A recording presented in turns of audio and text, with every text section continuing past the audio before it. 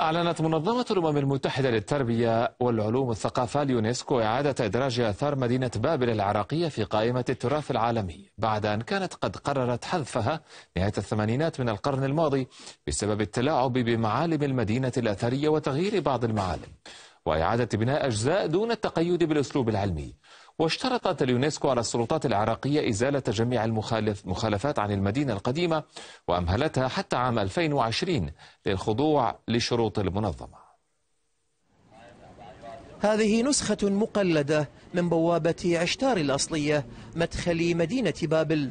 هي واحدة من شواهد تجاوز عمرها أربعة آلاف سنة من عمر المدينة القديمة أو ما بقي منها. سجلت مؤخرا ضمن لائحة التراث العالمي بقرار مشروط من منظمة اليونسكو.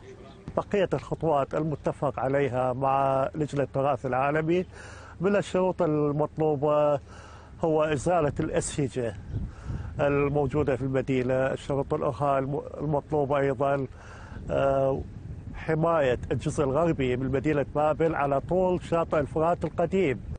هنا في بابل التي ورثت سومر وأكد حكم أحد عشر ملكا خلال ثلاثة قرون. فيها سن حمورابي مسلته الشهيرة وبنى برج بابل. وفي زمن الملك نبوخذ نصر أنشئت الجنائن المعلقة واحدة من عجائب الدنيا السبع. وفي الجانب الغربي كان لتقادم السنين وتبعات الحروب والغزوات تأثير تلحظه العين.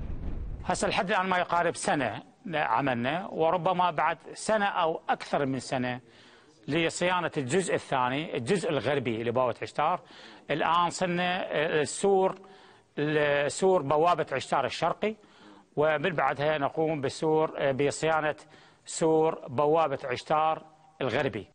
العقود الثلاثة الماضية اختلط فيها البناء المشيد حديثا بالقديم أو بني على أنقاضه كحال هذه الجدران والمباني خلافا لقرارات اليونسكو.